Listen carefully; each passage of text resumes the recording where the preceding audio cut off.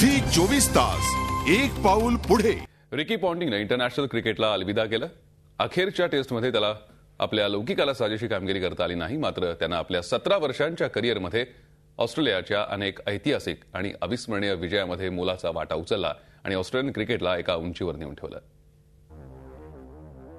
पॉन्टिंगचा क्रिकेटला अलविदा.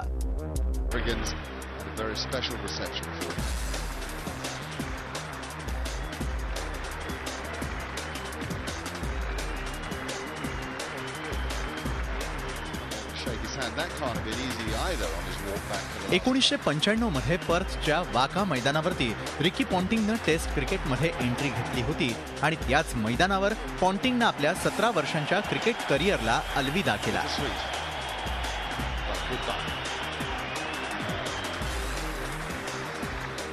याच मैदानापासून पॉन्टिंगनं आपल्या यशस्वी टेस्ट करिअरला सुरुवात केलेली होती. मात्र जवळपास दीड वर्षांपासून पॉन्टिंगच्या बॅटमधून रन्सचा ओघ आटलेला होता. त्याच्या क्रिकेट करिअरला खऱ्या अर्थानं घरघर लागली. त्यामुळं त्यानं क्रिकेटमधून निवृत्तीचा निर्णय घेतला. डॉन ब्रॅडमन नंतर ऑस्ट्रेलियाचा सर्वाधिक यशस्वी बॅट्समन म्हणून त्याच्याकडे पाहिलं जातं. रिकी पॉन्टिंगनं खेळलेल्या टेस्टपैकी ऑस्ट्रेलियानं शंभर टेस्टमध्ये विजय मिळवलाय. यातून त्याच्या जबरदस्त कामगिरीचा प्रत्यय येतो. ऑस्ट्रेलियाचा सर्वात यशस्वी कॅप्टन म्हणूनही तो क्रिकेट विश्वात ओळखला जायचा. त्यानं सत्याहत्तर टेस्टमध्ये ऑस्ट्रेलियाचं नेतृत्व केलं. यामध्ये विक्रमी अठ्ठेचाळीस टेस्टमध्ये त्यानं विजयश्री मिळवली. त्यानं स्टीव्ह वॉचा एक्केचाळीस टेस्ट विजयाचा रेकॉर्डही मोडीत काढला. ऑस्ट्रेलियाचा तो एक यशस्वी बॅट्समन आणि कॅप्टन होता.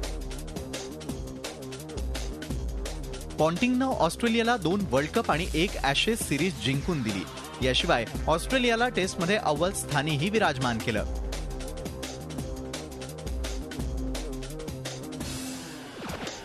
रिकी पॉन्टिंगनं एकशे अडुसष्ट एक्केचाळीस सेंचुरीज आणि बासष्ट हाफ सेंचुरीजचा समावेश आहे. दोनशे सत्तावन्न रन्स ही त्याची टेस्टमधील सर्वोत्तम इनिंग ठरलेली आहे.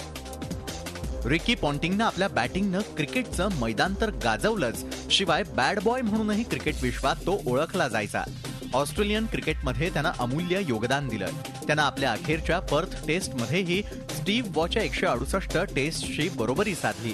आपल्या अखेरच्या टेस्टमध्ये पॉन्टिंग लौकिकाला साजेशी कामगिरी करू शकला नाही.